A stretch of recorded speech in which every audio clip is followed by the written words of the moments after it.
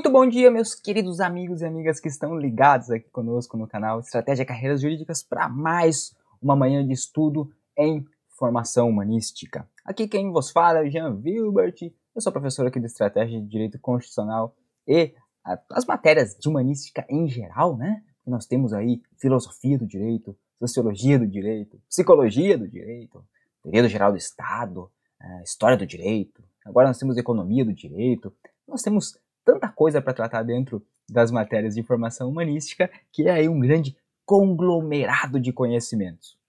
É sempre um prazer conversar aqui para quem está inclusive aqui no nosso ao vivo nesta manhã e para dizer que nós temos agora a humanística ingressando nos concursos públicos na primeira fase cada vez mais, nós já tínhamos isso acontecendo na Defensoria Pública, agora a magistratura entra com tudo também nesta parada e é, não tem nenhum problema. Né? Nós vamos encarar de frente esse novo desafio para quem estava mais tranquilo que nós encararíamos humanística apenas na fase subjetiva de alguns concursos como São Paulo, historicamente cobra humanística na fase subjetiva e depois na fase oral, né? Aí é, sempre havia o risco de haver a cobrança é, de humanística na fase oral, mas agora não há mais nenhuma dúvida quanto à relativa importância da matéria, porque ela aparece na primeira fase.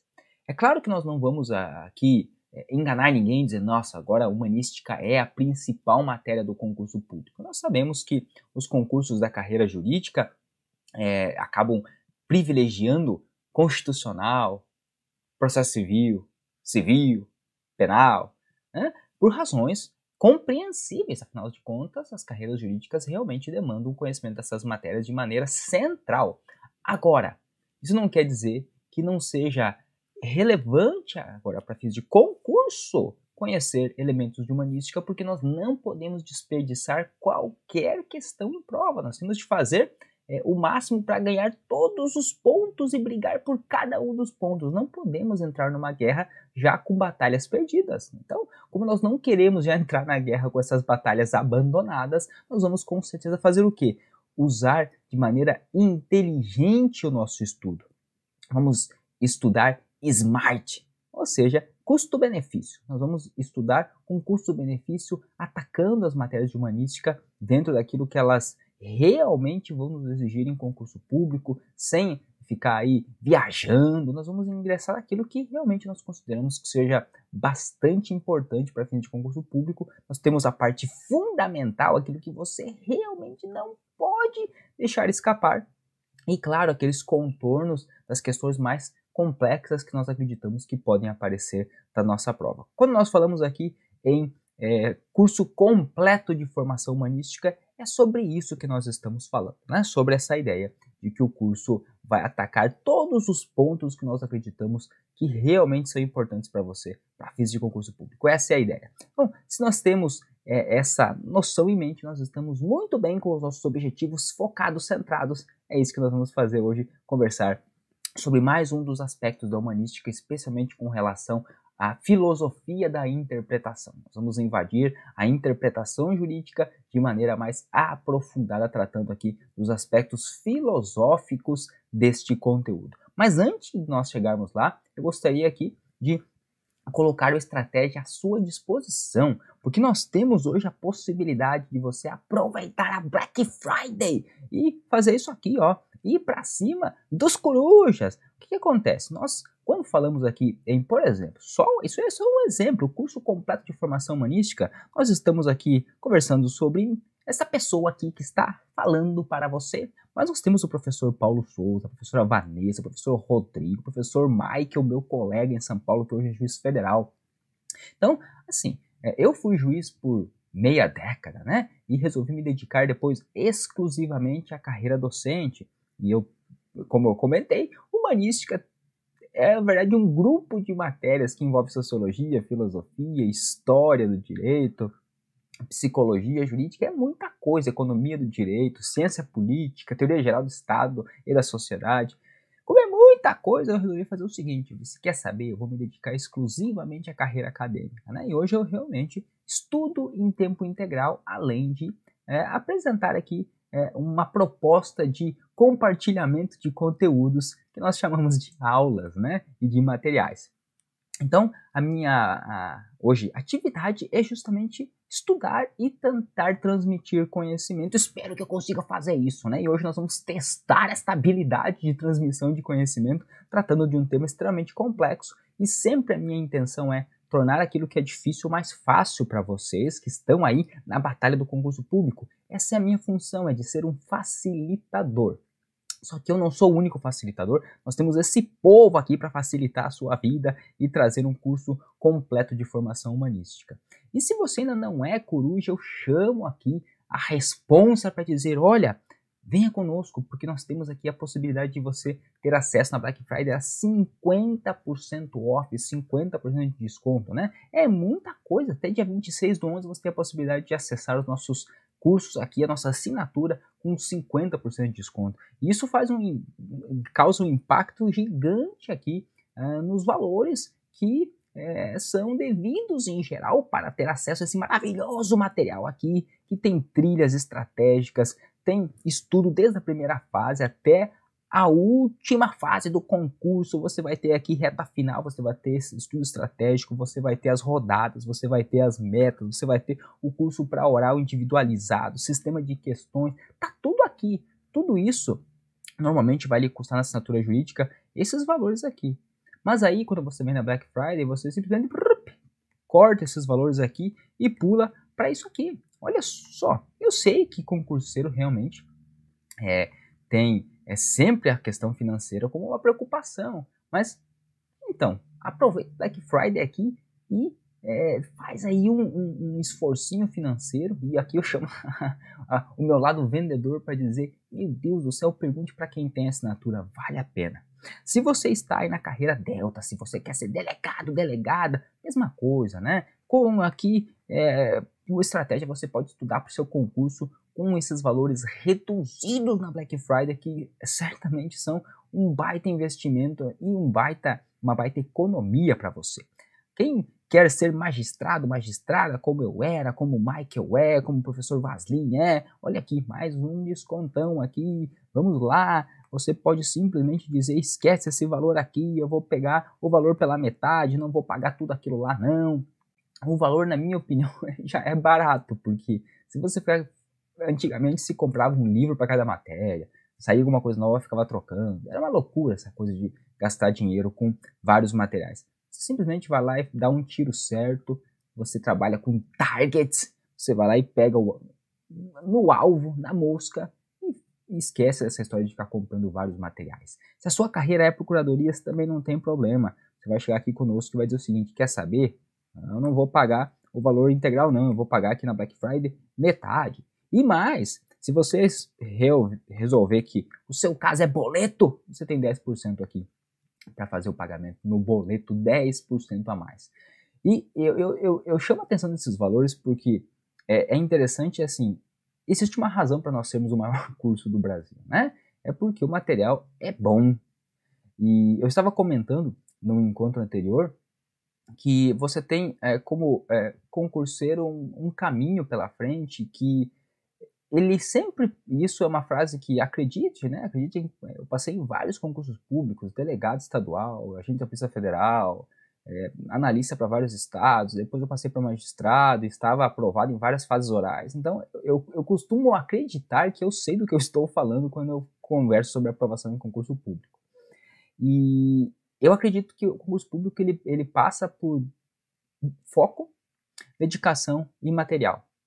Se você tem foco, se você sabe o que está fazendo, se você mantém o foco de maneira consistente e constante, você não fica alternando, estudo bastante, não estudo, estudo bastante, não estudo. Se você mantém a consistência, leva o estudo do, profissionalmente falando é, de maneira correta, né? ou seja, você tem uma rotina de estudo, você mantém essa rotina a médio e longo prazo, Mantido o foco, se você consegue sustentar a sua disciplina, né? estudar mesmo quando você não está tão afim, ou seja, é manter realmente a consistência via disciplina, né? fazer o que é preciso fazer, pagar o preço da caminhada pelo concurso.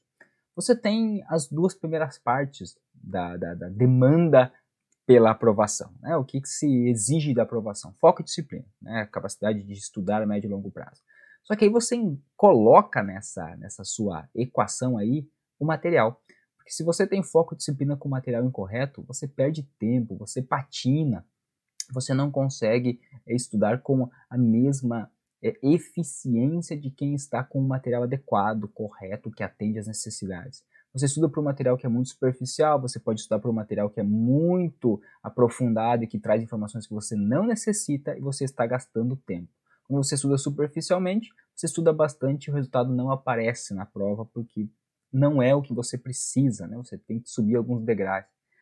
Aí quando você vem para um, um, um material como estratégia, ele te oferece exatamente o que você precisa, potencializa seu tempo e torna sua caminhada mais fácil, mais não só possível como palatável.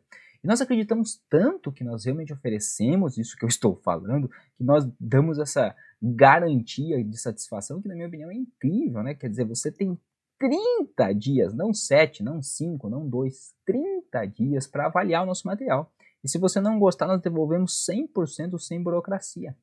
Simples assim. A gente acredita que trabalha muito duro para oferecer realmente o melhor material e nós temos a convicção de que nós conseguimos obter esse, esse intento por duas razões. Uma delas é porque nós vemos os números de pessoas requerendo devolução. São assim é, é, tão baixos porque mesmo quem de maneira extremamente uh, cética inicia no nosso curso, eles percebem a qualidade do material e dizem, não, é disso que eu estava falando. Eu vou é, ficar com esse material aqui, estudar bonitinho, porque ele vai me levar até a aprovação. Então nós acreditamos, primeiro, pelos números. Segundo, como eu já comentei, tem uma razão para nós termos o maior curso, é porque realmente nós oferecemos, oferecemos aquilo que vocês precisam para aprovação. Então, é claro que é sempre um esforço financeiro adquirir o material, e no caso agora uma assinatura, mas é um investimento também. Né? A, carreira, a carreira pública hoje demanda muito esforço e você não pode fazer esse seu esforço ser desperdiçado por um material incorreto.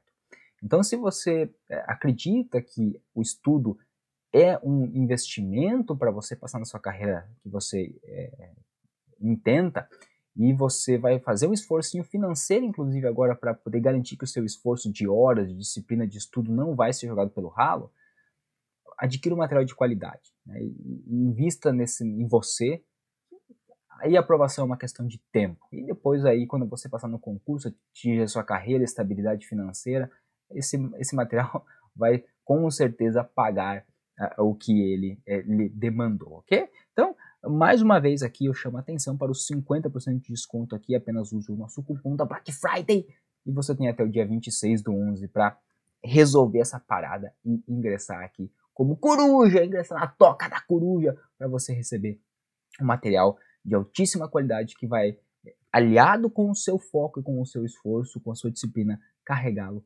carregá-la até a aprovação. Então esse é meu, é, meu minha mensagem inicial aqui, promoção vai até dia 26, aproveite. E se nós temos isso em mente, eu consigo agora ingressar aqui, mergulhar no nosso conteúdo de hoje, que é justamente formação humanística, interpretação, ou mais precisamente a filosofia da interpretação. Vamos que vamos para esse nosso conteúdo.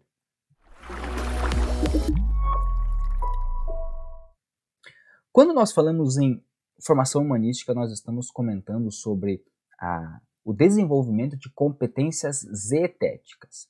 Competências zetéticas são aquelas competências que vão além da parte dogmática do direito, que vão além da parte dos dogmas do direito posto e buscam problematizar a compreensão do fenômeno jurídico. Essa é a ideia de zetética. E a filosofia da interpretação, a hermenêutica, ela just, busca justamente desenvolver uma teoria mais aprofundada da interpretação. Diferentemente daquele estudo mais dogmático, ou pelo menos transitando entre dogmática e exetética, dos métodos de interpretação, o método histórico, sociológico, teleológico, ou mesmo o estudo das escolas dogmática, a escola histórica do direito, ah, ah, nós podemos estudar inclusive escolas que vão permitir uma maior flexibilidade na interpretação do direito e garantindo ao intérprete mais mecanismos e ferramentas na interpretação dos textos de maneira um tanto mais flexível e não mais tão a, não, ligada a, a, ao texto, por assim dizer. Então, deixando aquela ideia de exegese um pouco para trás, ainda nós estamos num campo em que a, a, a busca de conhecimento está aqui extremamente ligada à aplicação prática diária do direito. Mas nós podemos ainda dar mais um passo para, é, alguns diriam para trás, para olhar melhor o objeto, mas nós podemos dizer um, alguns passos para cima e olhar esse fenômeno ainda mais de maneira aqui rasante, e dizendo, olha, ok, passando por cima do fenômeno do direito, sob esse, essa perspectiva superior, por assim dizer, não no sentido de melhor, mas no sentido de olhando o fenômeno de cima, nós podemos tentar entender o que é entender. A ideia é compreender o que é entendimento da lei é um dos objetos da filosofia da interpretação. Então, a compreensão aqui da dimensão da interpretação sobre esse aspecto de é possível compreender como nós realizamos a compreensão de textos jurídicos, o que isso significa na prática, de que maneira nós podemos evoluir o aspecto prático tendo uma melhor compreensão do ato de interpretação, é justamente a base, a noção da ideia de filosofia da interpretação. E é isso que nós vamos aqui conversar agora um pouquinho, tentando aqui desvendar alguns dos elementos que nos permitem compreender o direito sob essa perspectiva, eu diria, é, diferenciada, né? uma perspectiva, na minha opinião, que permite ao operador jurídico uma compreensão diferenciada, e agora sim falando sobre um aspecto aqui qualitativo, uma compreensão diferenciada, mais aprimorada do fenômeno jurídico sob o aspecto de aplicação do direito. Então, o que, que acontece? Nós podemos conversar aqui que é, é, é, nós temos uma insustentável teoria de interpretação que não considera os valores, os fins, a problemática filosófica. Miguel Reale diz o seguinte: como é que você pode querer realizar a interpretação se você não tem base filosófica. O aporte filosófico aqui, associado ao direito, nos obriga a estudar elementos da ética, a ele, estudar elementos da moral, a estudar aqui elementos que são zetéticos, nossa famosa zetética, justamente para fazer o quê? Para buscar um valor. E esse valor não pode ser outro que não justiça. Mas para buscar o valor de justiça, obviamente não nos basta aqui estudar o fenômeno jurídico sob o aspecto dogmático, sob o aspecto do direito já posto, sob o aspecto do direito como ele é construído nos seus, vamos dizer assim, elementos mais simplórios. Se nós queremos buscar um valor de justiça, nós temos de buscar uma compreensão filosófica do direito que nos traga a ética por trás do direito, a moral por trás do direito, esses elementos valorativos que estão além da mera norma como ela é. Então aqui a advertência do Miguel Reale nos aqui conclama a buscar elementos da zetética para conversar sobre interpretação, inclusive. Né? Então, a teoria da interpretação que nós vamos estudar hoje vai realmente buscar aqui ser mais aprofundada, justamente para garantir um valor, para garantir o valor de justiça é para nos ofertar mais ferramentas na compreensão do fenômeno jurídico. E nós iniciamos a nossa caminhada aqui chamando para o nosso lado autores que justamente fizeram esse exercício de compreensão do direito. Nós vamos começar aqui primeiro pelo Friedrich Schleiermacher, né? Então nós vamos conversar sobre Schleiermacher e ele vai dizer o seguinte: ok, se o nosso objetivo é compreender melhor o direito, façamos uma expansão material da hermenêutica. Bom, o primeiro aspecto é que a hermenêutica ela é a parte filosófica, é a parte, vamos falar assim, teórica da interpretação.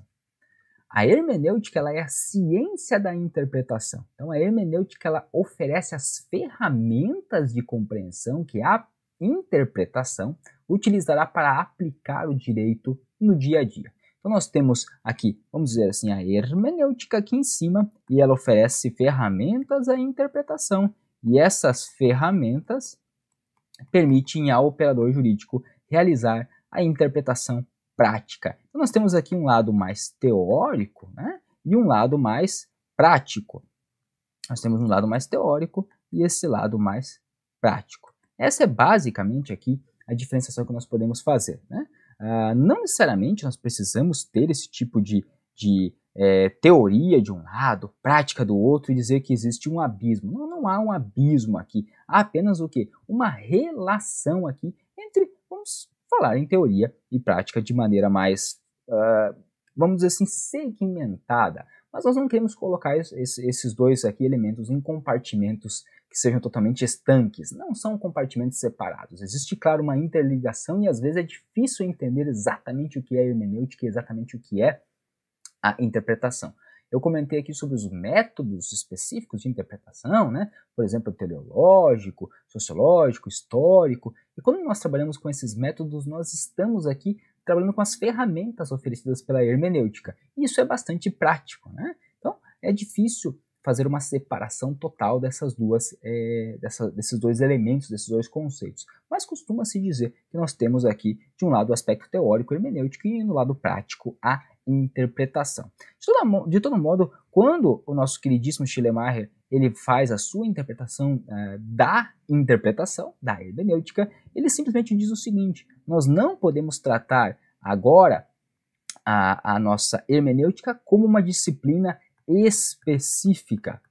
Porque o que acontecia? A época em que Schleiermacher escreveu, normalmente as pessoas usavam a hermenêutica apenas para tratar aqui da teologia. A teologia era a única disciplina que realmente conclamava aqui a uma compreensão de textos mais apurada, né? Então, o que acontecia? Como a escola da exegética era a principal escola, e aí nós vamos lembrar que os franceses defendiam simplesmente a interpretação do direito posto sem flexibilidade, sem criação pelo intérprete. O, o juiz é apenas a boca da lei. Então não havia necessidade de nós discutirmos de maneira mais aprofundada um sistema de interpretação. Afinal de contas, o juiz apenas declarava a vontade do legislador. Mas quando Schleiermacher passa a trazer, é, é uma, passa a fazer essa expansão material da hermenêutica, nós podemos dizer o seguinte: então a interpretação ela não é, obviamente, uma matéria específica, não é da teologia, não é da literatura. Nós não vamos estudar apenas textos literários sobre um aspecto mais aprofundado, mas o que acontece com a hermenêutica? Ela se torna uma ciência geral, uma ciência geral aqui, é, que vai tratar da compreensão linguística. Então, nós vamos tratar aqui agora a nossa estimadíssima é, hermenêutica como uma, um sistema de compreensão simplesmente geral, compre compreensão em geral da linguística. E nós estamos falando em linguística por quê? Porque a grande verdade é que o direito se expressa em geral por meio da linguagem. Né? Nós utilizamos a nossa linguagem para conversar sobre direito. Então, tudo no direito liga-se a símbolos linguísticos falados ou escritos, em geral. Nós temos outros sinais, inclusive, distintivos que vão permitir a utilização do direito, nós temos expressões que acabam envolvendo a aplicação do direito, mas em geral nós estamos tratando de linguagem. A linguagem não é precisa, a linguagem não é exata, ela demanda sempre uma compreensão por meio de uma interpretação, um, um desvelar daquilo que a linguagem ap apresenta. Então, quando nós lemos um texto, nós estamos revelando um certo sentido, que pode ser inequívoco, que pode ser claro para uma pessoa, mas pode ser equívoco, pode ser ambíguo para outro. É por isso que agora nós temos uma visão geral da interpretação da hermenêutica como uma ciência geral da compreensão da linguística, desdobrando-se em vários campos, inclusive o direito. Então, nós usamos a hermenêutica a partir de Schleiermacher não apenas para tratar da teologia de textos literários, então vamos compreender esse texto Shakespeare. Assim, nós, nós fazemos um esforço enorme para compreender Shakespeare, assim como nós faremos um esforço enorme para compreender o Código Civil, o Código Penal. Né? Então, a ideia é que nós passamos a ter aqui essa compreensão do direito sobre esse aspecto hum, agora mais amplo. Então vamos utilizar essas ferramentas da hermenêutica para o quê? Para esclarecer condições de aplicação do direito, em especial vamos tratar de condições filosóficas da aplicação do direito. O que, que a hermenêutica faz aqui? A partir das ideias de Schleiermacher, a hermenêutica ela vai trazer uma possibilidade de compreensão, mais uma vez a ideia de compreensão, mas aqui é, o interessante é que Schleiermacher diz o seguinte, essas condições filosóficas que são permitidas pela hermenêutica, elas não se ligam às dificuldades da interpretação de textos, porque essa, essa talvez seja uma incompreensão é, da maioria das pessoas com relação à interpretação e hermenêutica. Bom, eu preciso interpretar apenas quando o texto é difícil, né? Quando o texto é complicado, eu tenho de interpretar, porque a, a interpretação ela é desnecessária quando a, a lei é clara. Interpretatio cessat in claris. Então, é, nós ouvimos isso todo o tempo, né? Ou todo tempo não, ou nós costumávamos ouvir isso, ou nós temos pessoas que acreditam nisso. A interpretação cessa na clareza. Então, a interpretação cessa na clareza. Isso não existe.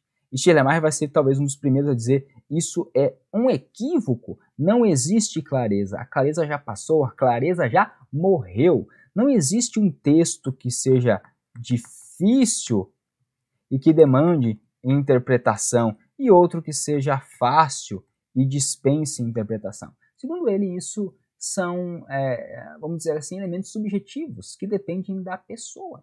Então, a pretensão da hermenêutica não é resolver textos difíceis, é resolver textos em geral. É sempre possibilitar um quadrante de possibilidades, porque é isso que nós temos. Quando nós falamos em interpretação, nós falamos, na verdade, é que nós criamos um quadrante de possibilidades, ou nós temos, independentemente da nossa vontade, esse quadrante de possibilidades com várias escolhas que são aqui é, passíveis de serem é, utilizadas pelo intérprete para desvelar o texto, para revelar o texto. E o intérprete vem aqui e escolhe uma dessas opções. Ele simplesmente diz: Eu não gosto dessa, eu não gosto dessa, eu não gosto dessa, eu não gosto dessa e também não gosto dessa. Só que existem opções que poderiam estar fora desse quadrante normativo, fora dessa moldura textual. E essas opções não podem aqui ser adotadas pelo intérprete. Então, o texto, ele faria o quê? Ele faria essa moldura, estabelecendo uma limitação à possibilidade de aplicação de certo entendimento. Dentro dessa moldura, o intérprete escolhe uma interpretação entre as possíveis e justifica a sua interpretação. O que ele não pode fazer é vir aqui fora e tentar optar por uma dessas situações aqui que resolveriam um caso jurídico. Ele não pode optar por algo fora da lei, fora da moldura permissiva do texto legal. Mas ele sempre terá opções dentro da moldura da lei e por isso que o Eros Grau fala que o ordenamento jurídico é um ordenamento em potência, porque ele depende aqui do jurista para realizar a sua interpretação, ok? Então, vejam como isso é complexo, né? Então, o que acontece? Nós chegamos a, em um ponto que nós compreendemos que a, hermenêutica ela oferece ferramentas para que o intérprete, de maneira mais flexível, e daí surgem as escolas que depositam no intérprete um ônus de compreensão dos textos e de interpretação é, da linguagem de uma maneira mais ampla do que apenas a mera boca da lei, revelando o que o legislador disse. E aí nós vamos ingressar realmente na hermenêutica filosófica, na interpretação filosófica, para começar a conversar sobre elementos mais complexos que podem, quando aparecem em prova, dificultar a nossa vida. Né? Exemplo, o famosíssimo conceito de círculo hermenêutico. Então, quando aparecer em prova lá um termo como esse, primeira coisa é não desesperar. Meu Deus, Jean, eu nunca ouvi falar em círculo hermenêutico. Que negócio é esse? Tô lascado. Respira, calma e vamos tentar compreender. A primeira coisa que nós podemos fazer é lembrar aqui dos nossos encontros e responder a questão com tranquilidade. Mas mesmo que nós não consigamos lembrar com precisão que nós estudamos um certo conceito, nós podemos, com a nossa caixinha de ferramentas, passar a tentar fazer uma análise aqui é, mais, vamos dizer assim, assim como a hermenêutica faz, mais ampla e tentar, é, de alguma maneira, dar um chute colocado. Então, duas coisas que nós vamos fazer aqui é, primeiro, aprender os conteúdos e os conceitos de maneira específica. Aprender o que é círculo hermenêutico. A segunda é tornar a nossa prova mais flexível, colocando essas ferramentas na nossa caixinha para justamente conseguir, se não, não lembrarmos de um certo texto, de um certo conceito, fazermos aqui o nosso chute colocado. Então, por exemplo, quando nós falamos em círculo hermenêutico, nós podemos falar que é, existem certos pontos e nós vamos criar aqui um círculo né, entre esses pontos. E é justamente essa a ideia de círculo hermenêutico. Nós temos a interpretação e a compreensão de textos como uma arte de ir e voltar. Que, ou seja, você vem para cá, você volta para cá, você vem para cá, você volta para cá. Ou seja, nós temos flechinhas aqui para vários lados, né? E por que, que isso acontece?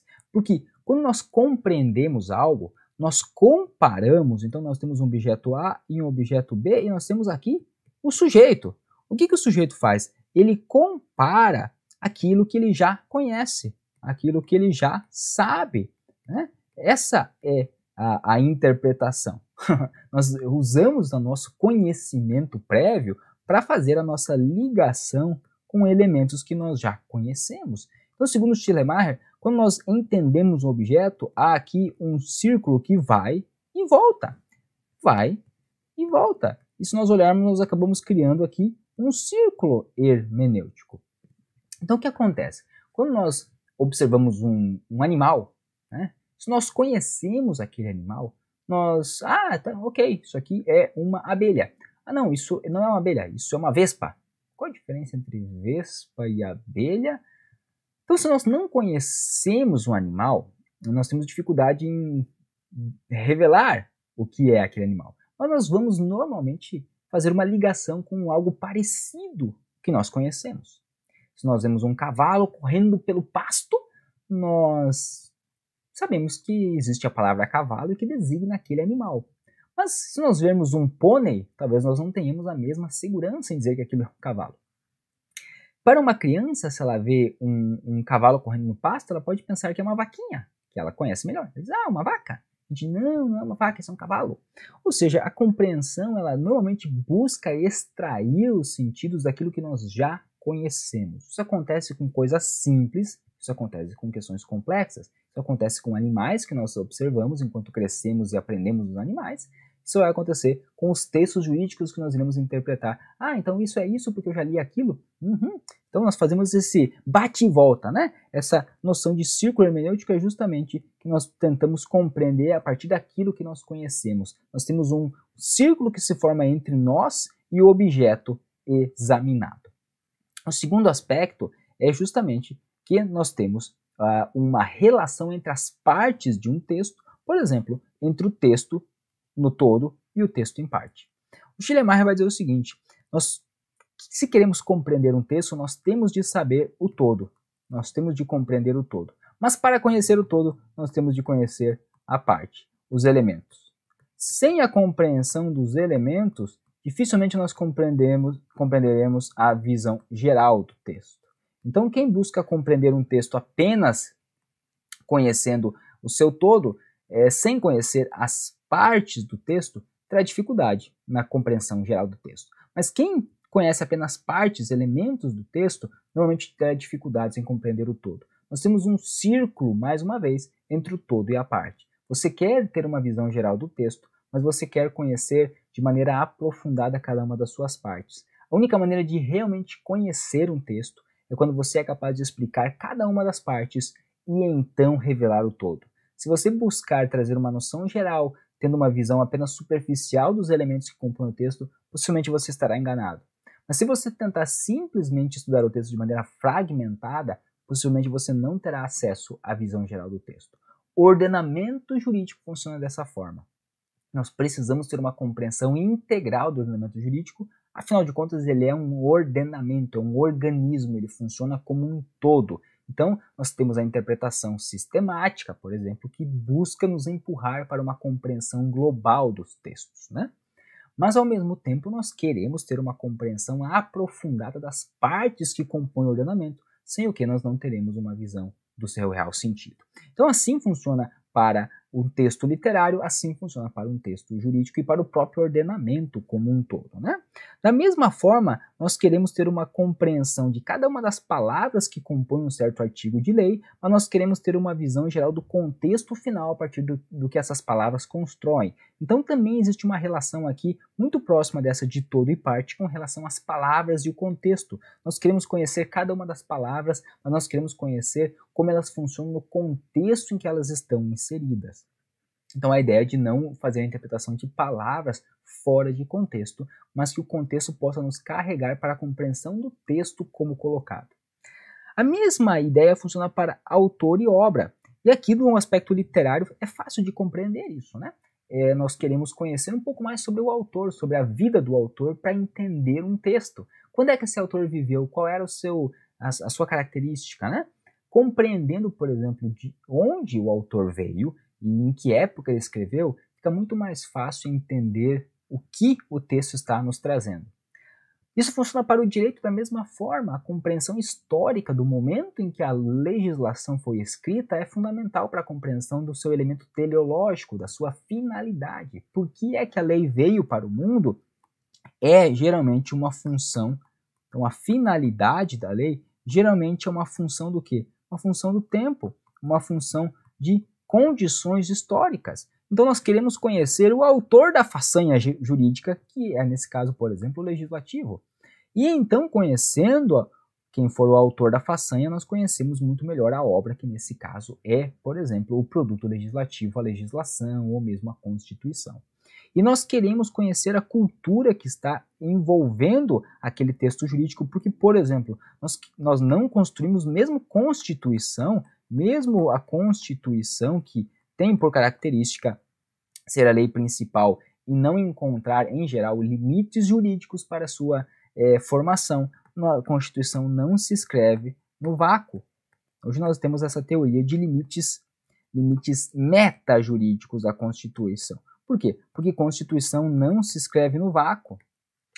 Nós não podemos escrever uma Constituição colocando qualquer coisa que nós queremos lá, segundo alguns autores.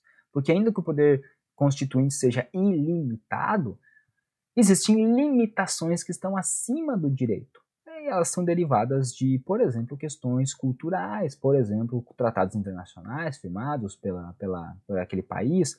Por exemplo, nós temos uma questão ah, dos elementos sociais que estão intrínsecos na população e que demandam uma, é, um atendimento, uma observância por parte do constituinte. Ou seja, a cultura que envolve os textos é fundamental para a compreensão, uh, não só o momento histórico no seu aspecto da ligação dele com o autor, mas a ligação dele com o texto em geral e com o momento que gerou aquela obra. É a partir desses elementos que Schleiermacher vai fazer a interpretação e vai revelar como que o círculo hermenêutico se formou.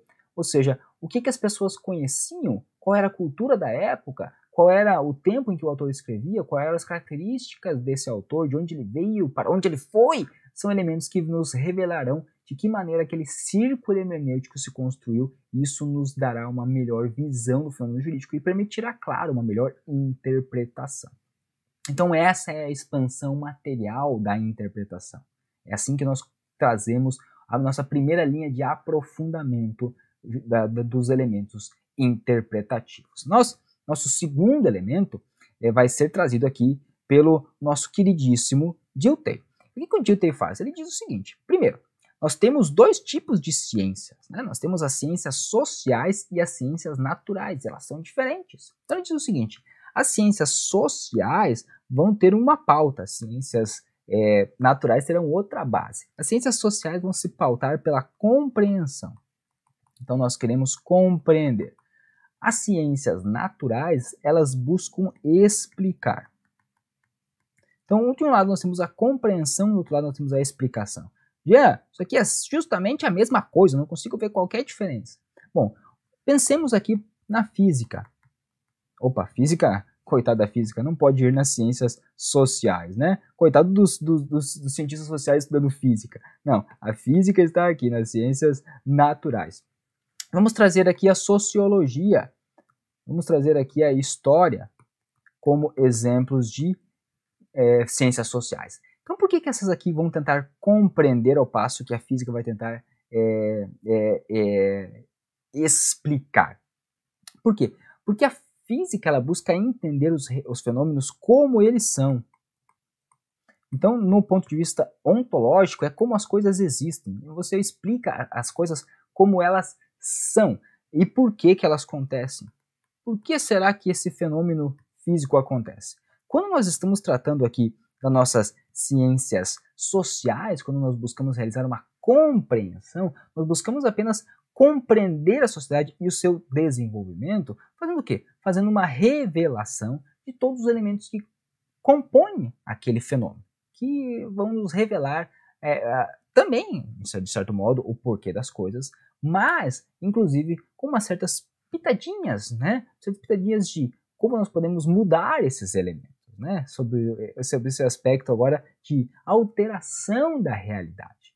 Isso na física geralmente é muito incomum. Na física, normalmente, nós buscamos fazer uma revelação das coisas como elas são, nós buscamos a explicação. Então, o Dilthey ele usa essas palavras que geralmente nós utilizamos como sinônimos apenas para fazer uma diferenciação entre a espécie de link que existe entre o intérprete e o estudioso das ciências sociais e das ciências naturais. Então, nós temos de ter uma visão de como a interpretação das ciências sociais vai permitir aqui uma postura talvez mais ativa do intérprete, né? E eu comentei já sobre a questão da a ontologia. E quando nós falamos em ontologia, nós podemos trazer esse sujeito aqui, o Martin Heidegger, um dos autores mais difíceis de ler, mais complicados de ler. Ele vai continuar aqui eh, nessa linha que o Dieter construiu para dizer nós precisamos de uma dimensão ontológica da compreensão e nós, e nós devemos buscar uma fenemologia específica. Às vezes aí você está brincando comigo. Você vem aqui, a gente vai tentando conversar, a gente está se dando bem, está conseguindo se entender. Aí você traz esses, esses, esses nomes difíceis aqui. Não é minha culpa, é o Heidegger. Ele gostava dessas palavras difíceis, o homem era complicado de se compreender. Isso é um pouco irônico, né? Alguém que está justamente buscando estudar a compreensão, estudar a revelação de sentidos, é, escrevia de uma maneira que era tão, mas tão difícil de compreender, muito em razão desses termos que ele utilizava. Né? Então, nós vamos aqui fazer o quê? Vamos revelar o que, que o Heidegger estava buscando falar. Então, quando ele fala, por exemplo, em dimensão ontológica, ou mais, quando ele fala aqui, ele usa um termo revelação. É interessante isso, né? É porque justamente essa é uma das pretensões, afinal de contas, da hermenêutica, né? Nós estamos buscando aqui revelação. Nós queremos revelar. Então, na revelação ontológica, nós buscamos fazer o quê? Compreender que é impossível uma interpretação que seja destituída dos pressupostos do intérprete. Então, o intérprete ele tem pressupostos, ele tem o quê? Pré pré-concepções. Então, o intérprete ele tem os seus preconceitos, as suas pré-concepções, não sob um aspecto negativo, não aqui sendo pejorativo, nossa, esse intérprete tem preconceitos. Não, sob o aspecto da realidade, né? Então, o intérprete ele tem as suas pré-compreensões, os seus pressupostos, a sua carga cultural, a sua carga emocional, o seu modelo de vida, a sua compreensão do mundo sobre outros elementos, então a compreensão moral e ética do intérprete vai impactar na sua compreensão jurídica. Então essa é a dimensão ontológica, ou a revelação ontológica, ela tem essa ligação do ser das coisas como elas são, da existência, e a existência nos revela que o intérprete é também guiado, é conduzido por esses elementos. E aí que nós falamos em fenomenologia específica, como o intérprete ele é conduzido pelo fenômeno da interpretação. Existe uma condução, ele, ele é conduzido e existe um meio de ser conduzido por esse fenômeno. Nós vamos agora fazer o que? Nós vamos entender essa ideia de condução essa ideia de fenomenologia, essa ideia de ontologia de maneira mais aprofundada. Então, a interpretação ela tem como seu objetivo, ela busca descobrir um significado que está oculto. Existe algo oculto e a ideia da interpretação é desocultar, é revelar, é esclarecer o desconhecido, ou seja, realmente nós podemos usar a palavra desocultar, revelar. Essa é a ideia. Então, o problema aqui é que normalmente o que aparece, o que nós revelamos, é o que nós deixamos aparecer. É o que nós deixamos aparecer. Por quê? Porque a compreensão, como nós acabamos de dizer, elas são anteriores, elas são pré Então, segundo é, o Heidegger, a compreensão e a interpretação elas são pré-ciência. Então, nós temos a ciência e aqui atrás nós temos a compreensão, nós temos a interpretação antes da ciência. Então, quando nós falamos em interpretação científica, em neutralidade, o Heidegger rirá. neutralidade. O que é neutralidade? Quando você está revelando, desocultando algo, você está simplesmente usando como plataforma os seus pré-conhecimentos, a sua base cultural, a sua base de conhecimentos, a sua base ética. Ou seja, a neutralidade simplesmente não existe. Essa neutralidade absoluta que se busca aqui trazer dentro das ciências, e especialmente dentro das ciências sociais, ela simplesmente não existe. O intérprete, segundo Heidegger, nunca é neutro. Então, a maneira como nós compreendemos o mundo à nossa volta, ela se liga com o nosso conhecimento. Então, mais uma vez, nós temos aqui o nosso sujeito e nós temos os elementos, lembra desse, dessa figura, e nós temos um círculo que vai se formar entre o sujeito e aquilo que ele está conhecendo. Nós temos um círculo hermenêutico, e ou seja, mais uma vez está aqui a nossa ideia de circularidade. E Heidegger diz, por que, que existe essa circularidade? Porque nós compreendemos os fenômenos a partir daquilo que nós conhecemos e mais, a partir das nossas pré-compreensões. E por isso é que nós não podemos assumir aqui, jamais, uma neutralidade do agente. Essa neutralidade simplesmente não existe porque o sujeito jamais é neutro na sua compreensão, no seu approach dos fenômenos. Né? Então, é, esse é o primeiro grande é, ponto em que a, talvez a hermenêutica aqui vire um pouquinho a, a mesa. Diga, calma lá, é, essa pretensão de que o direito, por exemplo, pode ser um elemento neutro que no futuro positivismo jurídico vai tentar impregnar a ciência é, jurídica, trazendo a ideia de neutralidade em razão da separação do direito da moral, a separação do direito da ética.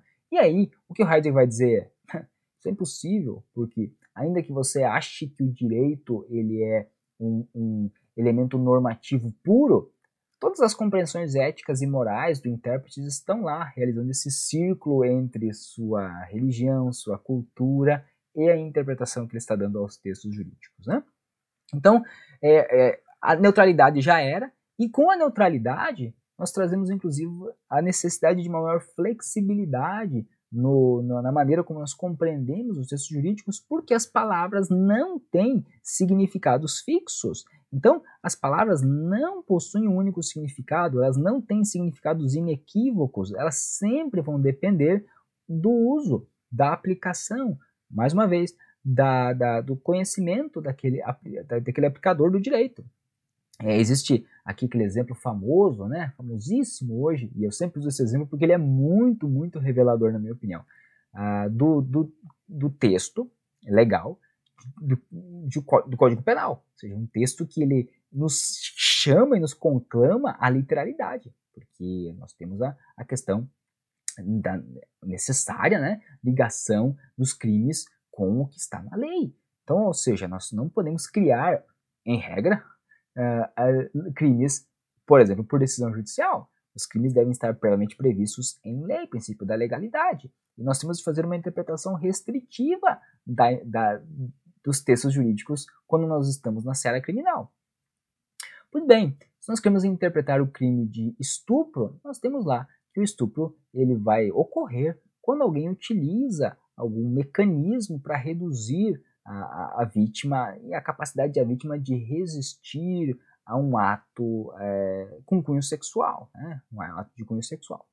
Pois bem, a grande questão é que quando você utiliza mecanismos para reduzir a capacidade né, de alguém é, aceitar um ato sexual, você está constrangendo. E o constranger, juridicamente falando, ele é o ato de você obrigar alguém à prática de um ato sexual. Aí tem um sujeito que ele vai num ônibus e ejacula numa vítima. E o juiz, na audiência de custódia, libera esse sujeito dizendo que não houve constrangimento. E o que o juiz quer dizer sobre o aspecto técnico é que ele não houve uma violência, uma grave ameaça, um ato de constranger a vítima ao ato sexual. Quando a mídia e as pessoas tomam dimensão dessa decisão, descobrem a decisão, elas fazem uma interpretação diferente da, da palavra constranger e começam a criticar fortemente o juiz, dizendo o que não houve constrangimento, e colocam fotos nas redes sociais do juiz lá, com, tendo sido ejaculado no seu rosto com a foto do juiz real, né? E o que acontece? Isso é derivado de uma, eu diria, equivocada compreensão, e aqui sem julgar a decisão do juiz, né? apenas uma equivocadíssima interpretação da palavra constranger pela mídia e pelas redes sociais, né? As pessoas estavam aí postando nas redes sociais.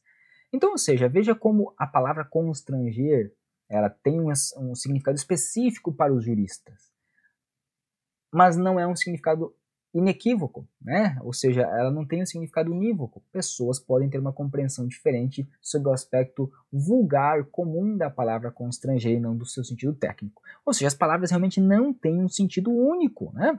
Ou seja, elas não têm um sentido que é independente do seu uso ou da sua aplicação. O constrangimento no, na nossa vida comum é constranger alguém, envergonhar alguém, é tornar alguém envergonhado em razão de um certo ato que vai deixar você constrangido.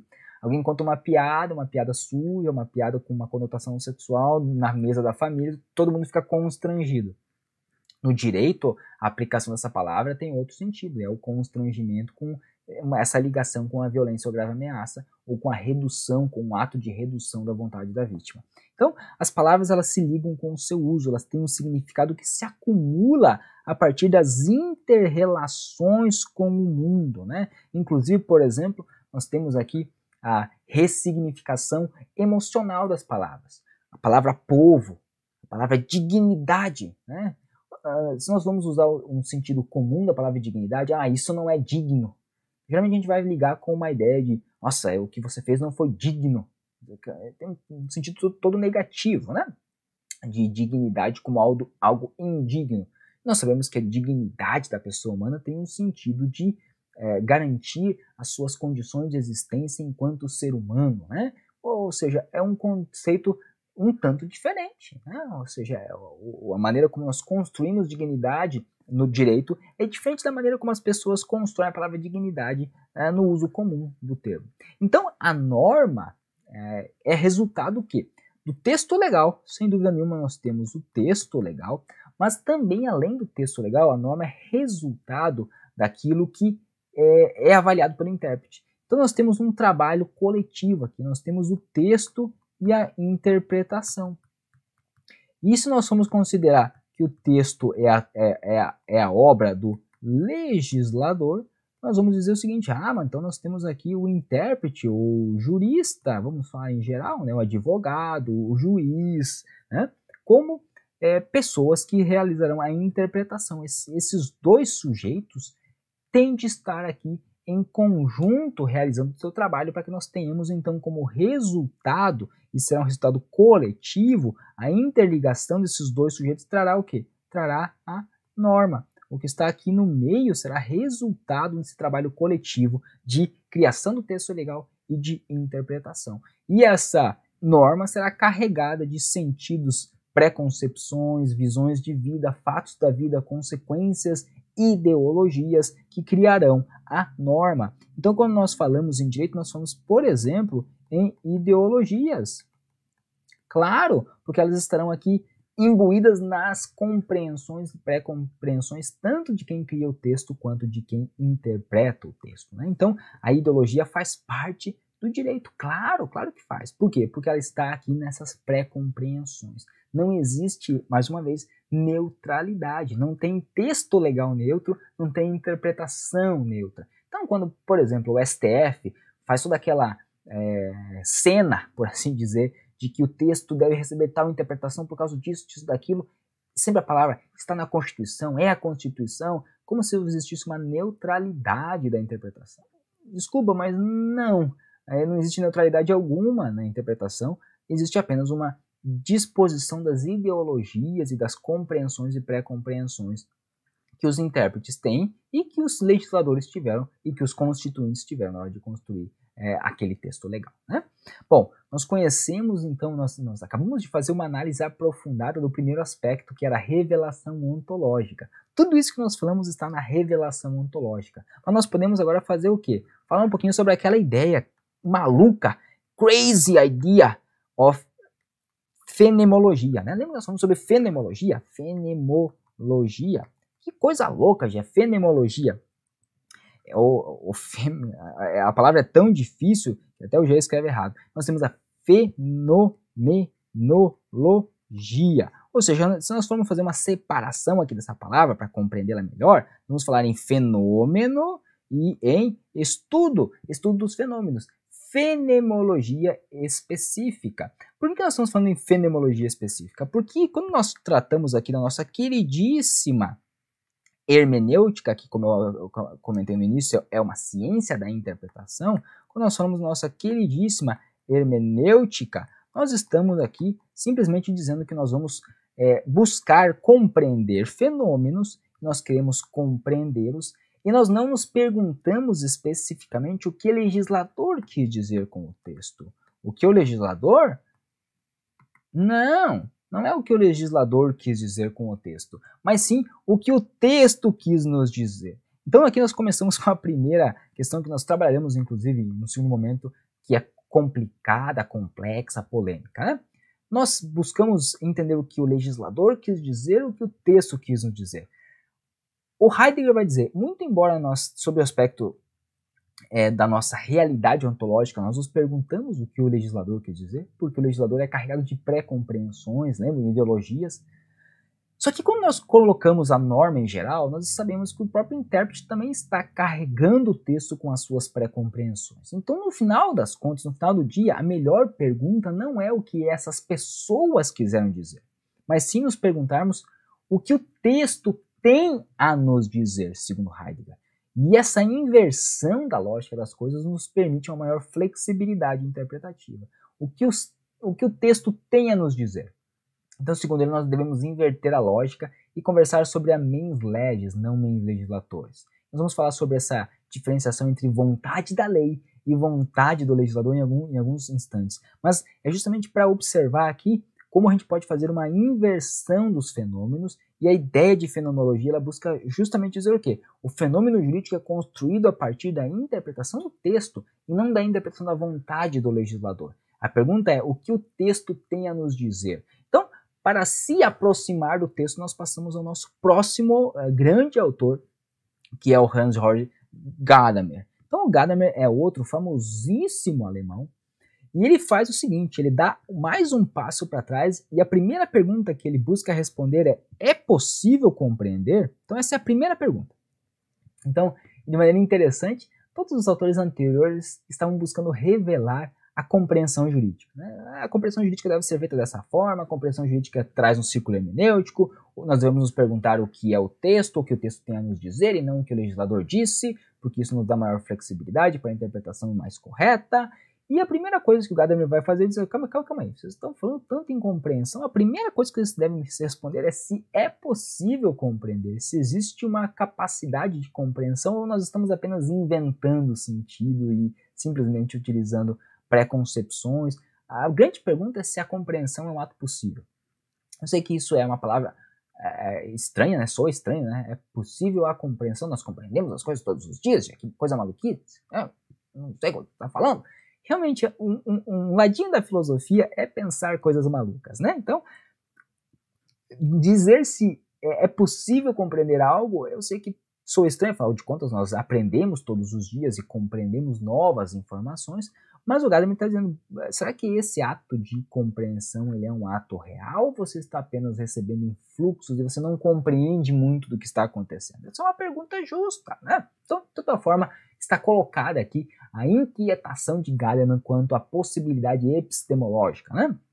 Agora, no sob o aspecto mais prático, e eu acho isso bem interessante, ele fala aqui em fusão de horizontes. Porque nós comentamos aqui que existe essa ideia de círculo hermenêutico, nós falamos duas coisas. A primeira delas é a ideia de circularidade, né? existe uma circularidade entre o sujeito e o ato a ser compreendido.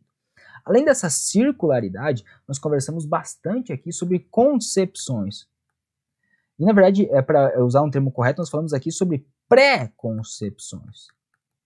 Então, existe uma pré-concepção. E circularidade. Nós temos as nossas pré-concepções, elas vão circular aqui entre o sujeito e o objeto.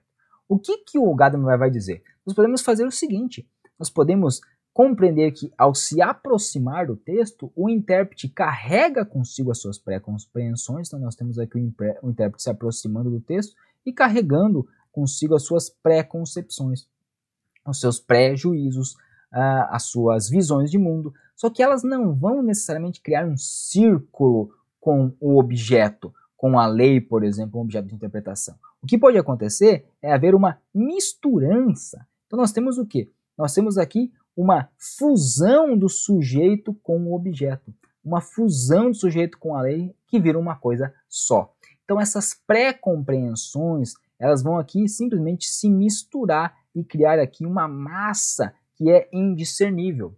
É por isso que aquela neutralidade que nós comentávamos é difícil de perceber, porque quando nós criamos uma interpretação, nós misturamos e fundimos os horizontes, é difícil entender onde estava a pré-compreensão, a ideologia do intérprete, e onde estava o texto da lei. Nem sempre é simples de nós separarmos, ah, aqui está a lei, aqui está a interpretação, esse intérprete é ideológico. Às vezes a gente consegue perceber quando a ideologia é extremamente evidente, carregada, a pré-compreensão do texto é criticável, né? Nós temos essa, essa toda essa carga cultural vindo à tona e deixando a posição do intérprete muito clara com uma interpretação que não é a comum, por exemplo, né? Então, fica fácil de compreender que essa aproximação do texto carregou aquela pré-concepção. Mas, às vezes, isso é sutil e essa mistura vai fazer com que o sujeito, as suas preconcepções e o objeto e a interpretação, o resultado disso tudo, seja uma coisa só, seja uma massa, né? Então, nós temos essa massa que é resultado do processo interpretativo. E essa massa aqui será a norma, porque nós, como nós sabemos, a, o texto jurídico hoje é resultado da interpretação. Então essa massa é a norma. Então é bacana como o Gadamer me traz essa nova visão e um novo conceito de fusão de horizontes. Esse é outro termo que pode aparecer em prova. Aí se a gente não conhece qual é o conceito, nós podemos fazer duas coisas: se desesperar, arrancar os cabelos, chorar na prova ou tentar é, fazer o quê? Buscar na memória aquilo que o Gia falou e se nós não lembrarmos, buscar aqui, de alguma forma, usar nossas ferramentas para discernir sobre o, o, conteúdo mesmo assim, né? Bom, próximo é, é ponto é, é, é, falar aqui que a interpretação, antes de ser um método, ela é uma expressão de uma situação do homem, né? Ou seja, ao se debruçar sobre uma obra, sobre um texto legal, o intérprete ele se insere nesse mundo criado pela obra. Então existe aqui, por exemplo, uma lei e o intérprete ele vem aqui e faz o quê? Dá um mergulho nesse mundo, né? Então, portanto, o intérprete ele deve fazer o quê? Ele deve cuidar da fusão, ele deve tomar cuidado, ele deve ter atenção para essa fusão. Para quê? Para que ela possa se revelar de uma maneira mais é, cuidadosa e não apenas derivar das suas pré-concepções. Então, o intérprete, ciente de que existe essa ligação e essa fusão daquilo que ele carrega consigo para dentro da lei, ele deve tomar cuidado e pode sim garantir que é, essas suas pré-concepções não sejam o elemento mais determinante na interpretação do texto jurídico. Ou seja, você tem essas expectativas pré-determinadas. Então eu tenho uma expectativa pré-determinada. Então, uh, muitas vezes alguém vai dizer: ah, aquele juiz decidiu de certa forma. Também, aquele sujeito é um ideólogo, ele é isso ou ele é aquilo. É óbvio que ele decidiu dessa forma, sabia, né? Então, às vezes, inclusive, essas concepções elas são tão fortes que elas não encontram confirmação no objeto. Então, de maneira sutil, o Gadamer está reconhecendo que existe aqui sim uma circularidade hermenêutica, né? Que muito embora exista essa fusão de horizontes, nós ainda temos essa ideia de que de um lado está o objeto e de outro lado está o sujeito e suas pré-compreensões. E ao realizar a fusão de A e B, para formar, por exemplo, uma norma, derivar uma norma é, para aplicação para outros homens, o sujeito deve cuidar para não carregar demais as suas pré-concepções sob pena de, inclusive, aquilo que ele está lendo não revelar para ele de maneira correta o conteúdo da norma.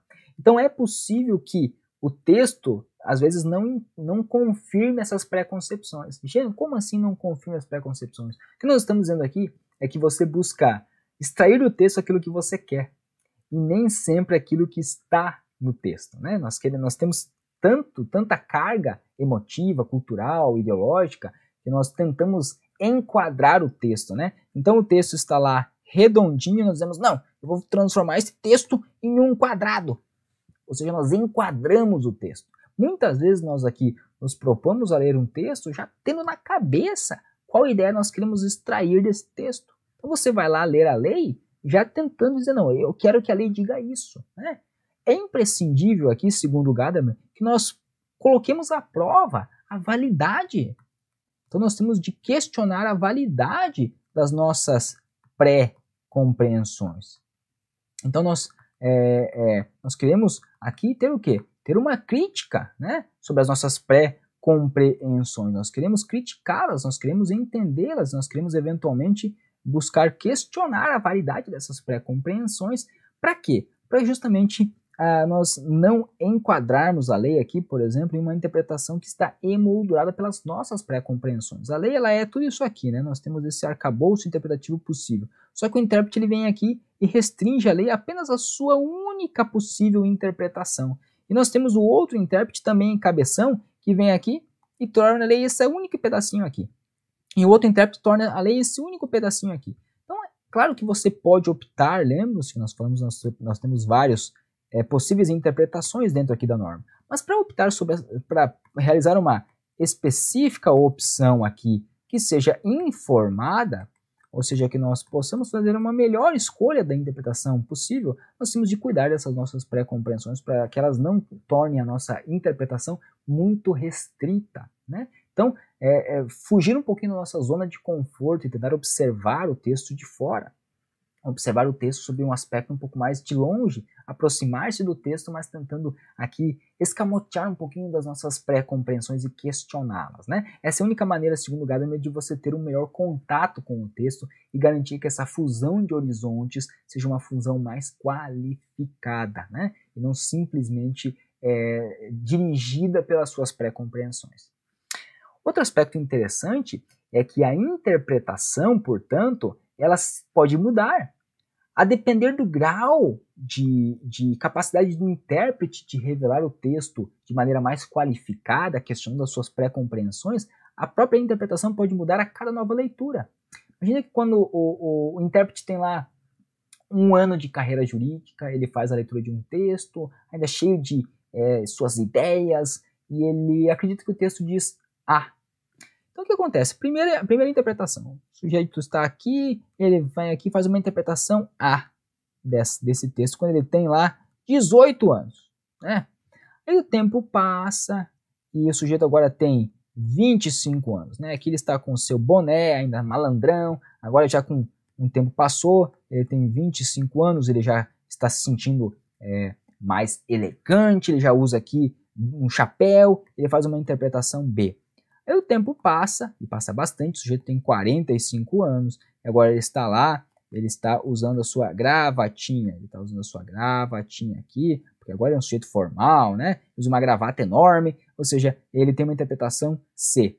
E o tempo vai passando, ele traz uma interpretação D, E, I, F e G.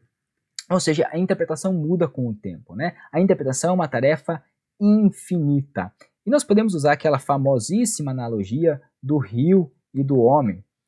Ou seja, quando um homem entra no rio é, pela segunda vez, nem ele e nem o rio são mais os mesmos. O rio, as águas passaram e aquele rio já é outro. E o homem é outro também. Um homem não pode entrar no rio duas vezes, porque ele não é o mesmo e o rio não é o mesmo.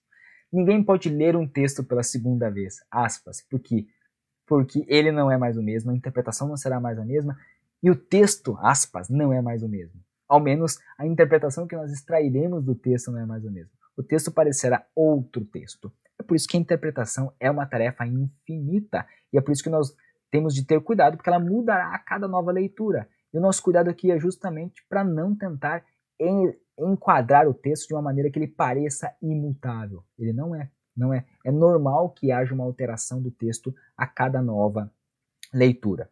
E aí nós podemos é, compreender a prática da, disso tudo que nós discutimos, né? Porque nós falamos, falamos, falamos, falamos. Então, por exemplo, se nós vamos aplicar tudo isso que nós comentamos sobre o aspecto prático para discutir essa grande polêmica entre a mens legis e a mens legislatores. Algumas pessoas vão dizer, não, não, o que vale é o texto da lei, o que vale é o texto, ou seja, o que vale é a mens legis, é a vontade da lei. A lei não tem vontade, a lei é um objeto inanimado, Gia. O que vale é a vontade do legislador. Então, quando eu quero buscar a teleologia, a finalidade da norma, eu quero compreender o lado histórico da norma, eu busco o que o legislador buscou regular e qual é a história dos legisladores no período. Alguém vai dizer, não, mas peraí, uma vez que os legisladores colocam a norma no ordenamento jurídico, o autor está morto, como diria Michel Foucault. O autor já era. Agora eu me pergunto o que, que o texto quis dizer. Eu chamo mais uma vez Heidegger, né? Eu vou chamar Gadamer para dizer, não, não, eu me pergunto o que, que o texto tem a nos revelar. Chama lá o Heidegger. Agora, agora você consegue escrever, se você quer defender um lado, você pode dizer, eu chamo Heidegger aqui. Ele nos dizia, pense um pouco sobre o que o texto tem a revelar. Né? Então é justamente, por exemplo, essa ideia. Nós temos duas teorias aqui que vão digladiar sobre a ideia de mens legis e mens legislatores. A teoria subjetiva vai dizer, não, a norma tem um conteúdo fixo. Se a norma tem um conteúdo fixo, o que importa aqui é a vontade psicológica do legislador. Então o que importa é o legislador, porque se a norma tem um conteúdo fixo, eu quero buscar aqui compreender a vontade do legislador. O objetivo último aqui da interpretação é chegar à vontade de quem criou a norma. Então a ideia é revelar a intenção do criador. E se eu falar que o que importa é o conteúdo da norma, que ele é fixo, então a minha interpretação aqui ela deve ser ex tunc, desde sempre, porque a norma sempre teve e sempre terá o mesmo sentido, porque a norma não muda. Mais uma vez, ela tem um conteúdo fixo. Se a norma não muda, a minha interpretação ela é ex tunc. Então imagine, por exemplo, uma prova em primeira fase exigindo apenas isso, né? É, exigindo a ideia de interpretação extunc sobre o aspecto filosófico em humanística. Isso pode acontecer. Ou numa prova subjetiva, para você abordar aqui a, a ideia de mens legis, mens legislatores. Se você conseguir colocar esse slide aqui na sua cabeça, dizer, olha, nós temos duas teorias. A primeira delas é a teoria subjetiva, segundo a qual a norma tem um conteúdo fixo. Então o que importa é a subjetividade, a vontade do legislador. E se assim é, eu busco a vontade do legislador e a partir de então a norma tem um conteúdo fixo, não muda. E aí a minha interpretação é ex. Agora, é, isso nos coloca aquela ideia de soberania do legislativo, afinal de contas estamos falando que o legislador é que vale, né? Então cabe ao intérprete aqui, cabe ao juísta, cabe ao juiz, simplesmente ser o quê? A boca da lei. Então é, aqui a nossa interpretação é o que esses autores vinham criticando, né? Nós estudamos agora uma crítica a essa ideia de que o juiz é, uma, é a mera boca da lei e cabe ao intérprete apenas fazer o quê? Revelar, mas revelar o quê? Revelar os propósitos do legislador, revelar o que é o objetivo do legislador, ou seja, o legislador histórico, o legislador real, o legislador que escreveu a norma. Né? Nós acabamos de ver uma, uma crítica a essa ideia. Mas essa ideia ela tem fundamentos que são, vamos dizer assim, importantes. Existem, é, obviamente, pessoas que defendem a teoria subjetiva e que defendem de maneira efusiva. O que, que eles falam? Eles dizem o seguinte: nós temos de cuidar da representação popular. A vontade do legislador ela espelha a vontade da população por força do mandato representativo. Então, é, nós estamos falando que o quê? É, o legislador ele representa a população. Essa é a ideia do sistema representativo. Ou seja, se nós estamos tentando buscar dar vazão à, à vontade popular, nós temos de buscar a vontade do legislador. E se o, o juiz começar a querer criar sua própria vontade da lei, aí nós perdemos a ideia de representação popular. Né? Ou seja, a representação popular não tem um texto abstrato como a sua fonte, tem o, o legislador real, aquele que é eleito pelo povo. E o segundo, é, ainda já tocamos nesse ponto, a ideia aqui desse conceito abstrato de vontade da lei, que abstração é essa aqui, que é vontade da lei, acaba fazendo o quê? Acaba descambando no subjetivismo, segundo esses autores. E esse subjetivismo faz com que é, se permita ao intérprete uma flexibilidade superior àquilo que o Estado Democrático de Direito a, autorizaria. E acaba fazendo o quê? Acaba autorizando o arbítrio. Então, a pretensão de ligar a interpretação à vontade do legislador limita o arbítrio, porque senão o intérprete recebe todos os poderes, né? ele pode dizer a vontade da lei. Então, aqui é um perigo, um perigo ao próprio Estado de direito. Né? Então, o Estado de Direito depende aqui de que o, intérprete não possa simplesmente, de maneira arbitrária, dizer o que é a vontade da lei. E como o conceito de lei é abstrato, nós perdemos a ideia de representação popular, a ideia de ligação com o real. Então, esses são os fundamentos da teoria subjetiva. Agora, nós passamos à teoria objetiva. A teoria objetiva vai dizer: não, não, não, está tudo errado, não é a vontade do legislador, é a vontade da lei. Por quê? Porque nós desgarramos é, a, a, o legislador, o legislador ele desaparece. Nós temos o que? O legislador ele faz o quê? Ele lup, desaparece quando nós criamos uma, uma lei.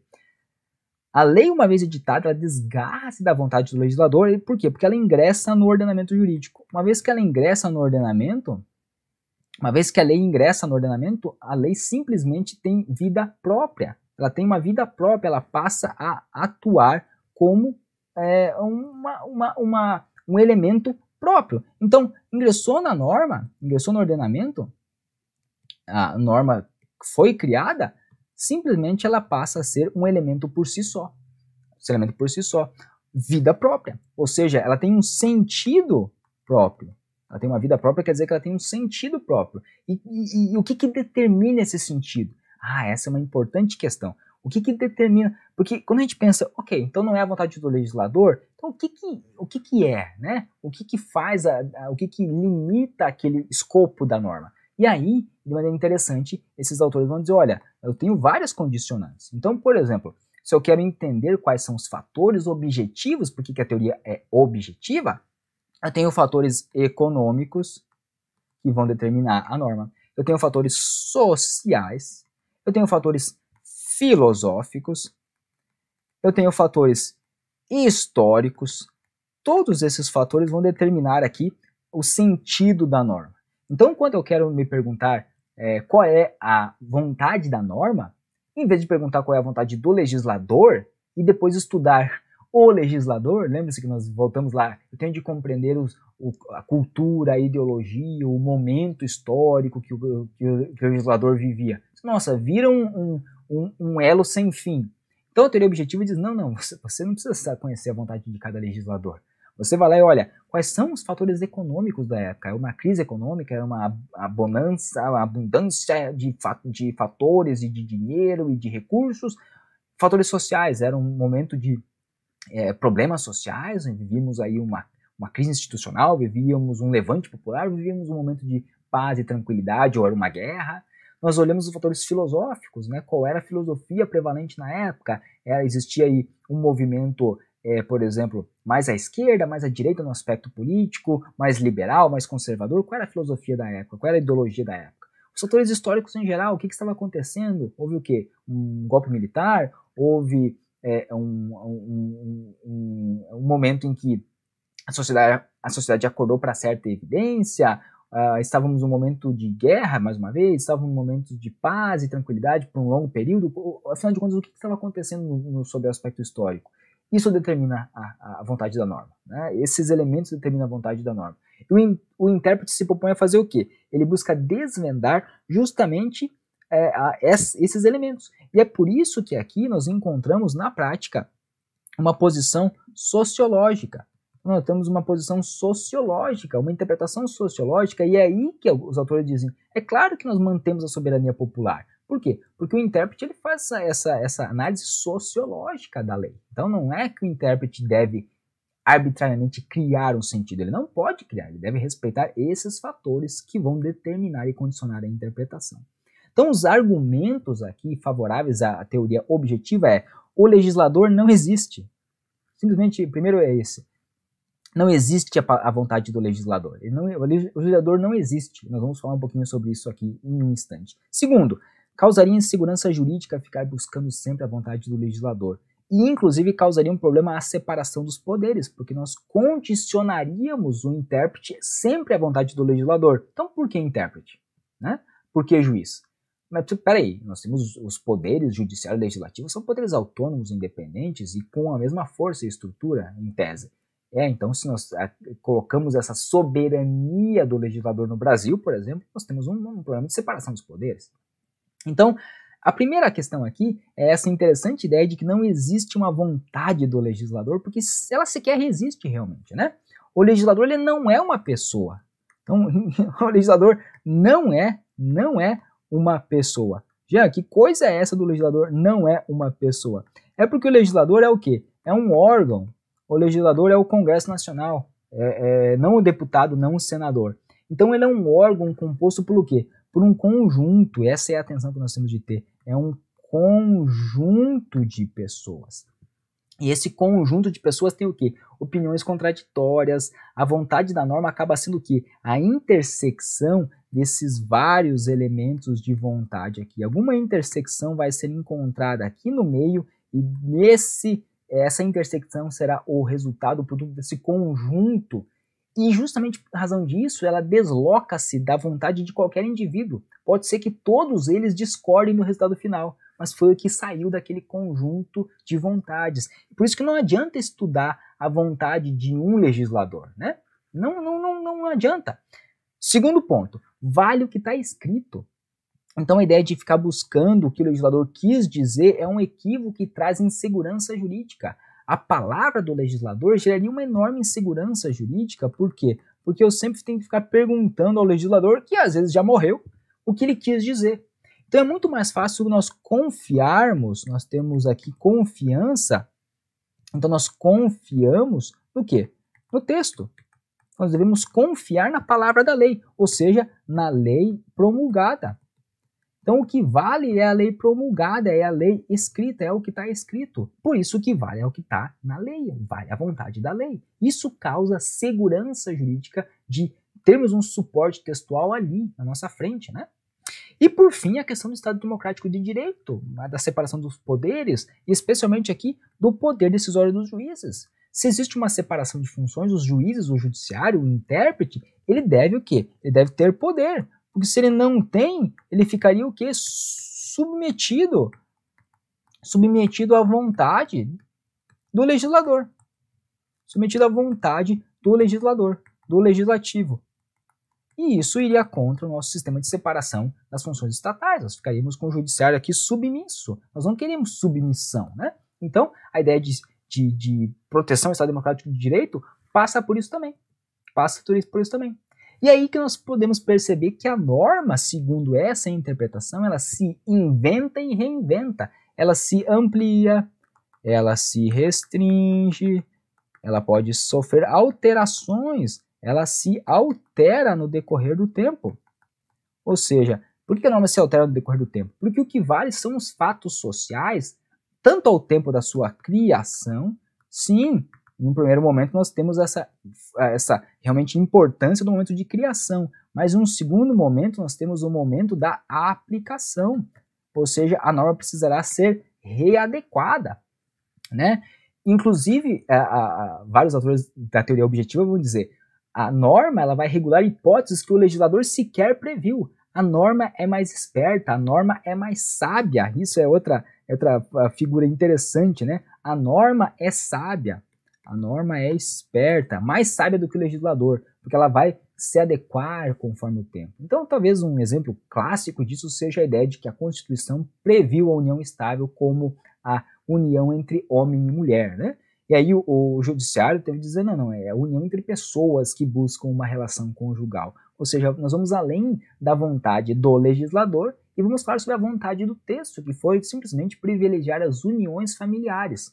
Essa é a vontade do texto, são os fatores sociais hoje. Possivelmente, se você perguntar para os legisladores da época, eles dirão: não, eu quis trazer a união estável como ligação entre homem e mulher. Essa, essa união conjugal que eu quero regular. O problema é seu daquilo que o legislador queria. Talvez outros discordem. Essa união de vontades é realmente uma massa indiscernível. Mas a vontade do texto, conforme os fatores sociais, é de privilegiar as famílias. Simples assim. Então, a compreensão da norma aqui não pode ser ex tunc, né? Porque a norma se modifica no decorrer do tempo. A compreensão ela deve ser o quê? Ex nunc, desde agora, daqui para frente, especialmente com o olho no momento atual. Afinal de contas, a norma se reinventa.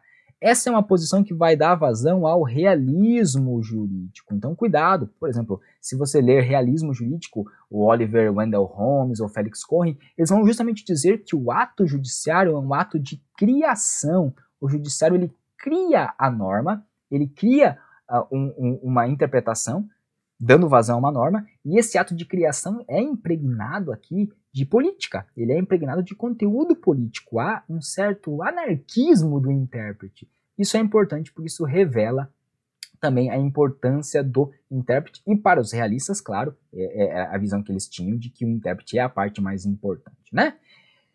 Bom, nós temos essas duas opiniões, subjetiva, objetiva, e se nós queremos um meio termo, nós podemos chamar aqui o nosso queridíssimo Savigny, que ele vai dizer que a interpretação ela tem dois aspectos. A primeira delas é o de conhecer, e aí nós queremos conhecer a vontade do legislador, porque segundo ele ela é importante para nos revelar a, o momento histórico. Só que logo depois, no segundo momento, nós vamos fazer o quê? Nós vamos criar aqui uma convicção. Então nós primeiro conhecemos, depois nós criamos uma convicção. E aí sim a convicção comum do povo, por exemplo, é o elemento primordial da interpretação. Nós teremos aqui eventualmente uma adaptação da norma no decorrer do tempo em razão da vontade, da convicção do povo. Né? Então seria essa aqui um meio termo, que primeiro nós conhecemos a vontade do legislador e depois nós avaliamos a convicção do povo. Né? E diante disso nós podemos aqui encerrar dizendo que Cada intérprete é uma instância ideológica né, de atribuição de significados heterônomos diferentes. Não é o sentido da norma que se impõe ao jurista de acordo com a sua formação cultural, né, sua formação ideológica, de sorte que é o jurista que é a fonte autêntica do direito, segundo Luiz Fernando Coelho. Então isso quer dizer o quê? Se você for estudar essa obra do Luiz Fernando Coelho, a obra Lógica Jurídica e Interpretação das Leis, ele vai dizer a interpretação é viva e o direito vive. O direito é o campo de lutas, o direito é o campo das ideologias. Então, não é a norma que impõe ideologias, é o intérprete que impõe ideologias à norma, né? Ou vice-versa, ou um círculo hermenêutico que vai e vem. E assim nós temos uma visão muito mais clara sobre é, a interpretação sobre o aspecto filosófico e claro que a partir de agora com esses elementos você pode aí se debruçar sobre a filosofia da interpretação e perceber o quanto ela é rica e pode aprimorar os seus conhecimentos tanto para concurso público quanto para a sua formação como melhor operador jurídico. Deixa eu ver como está o nosso chat aqui, ver se a galera está se manifestando. Galera, muito bom estar com vocês em mais uma, eh, uma transmissão. Mais uma vez, lembrando que nós temos a nossa Black Friday, isso quer dizer o quê? Isso quer dizer que se você esqueceu do que eu falei, você lembra-se aqui que nós temos a nossa promoção maravilhosa aqui das nossas assinaturas, tudo com 50% de desconto. Olha os preços aqui, olha, despencaram. Olha o preço diferente do preço regular e dos preços com desconto de 50% mais uma vez. Só que, claro, isso não é para sempre, né? Nós olhamos aqui as nossas promoções, você vê os valores despencando, os valores de dois anos. Esse aqui é o, é o período ideal para você estudar, né? Estudar e passar a resolver seu problema. Você pode fazer isso com dois anos, os preços despencaram. Só que aí, claro, é, não é para sempre, né? Nós temos esses preços aqui apenas até o dia 26. Se você gostou dessa, dessa aula, se você está animado para estudar, se você quer ter acesso ao nosso material, vem conosco, vem ser coruja, tamo junto. Muito obrigado pela presença, muito obrigado por assistir a esse nosso encontro. Um grande abraço a todos e até a próxima.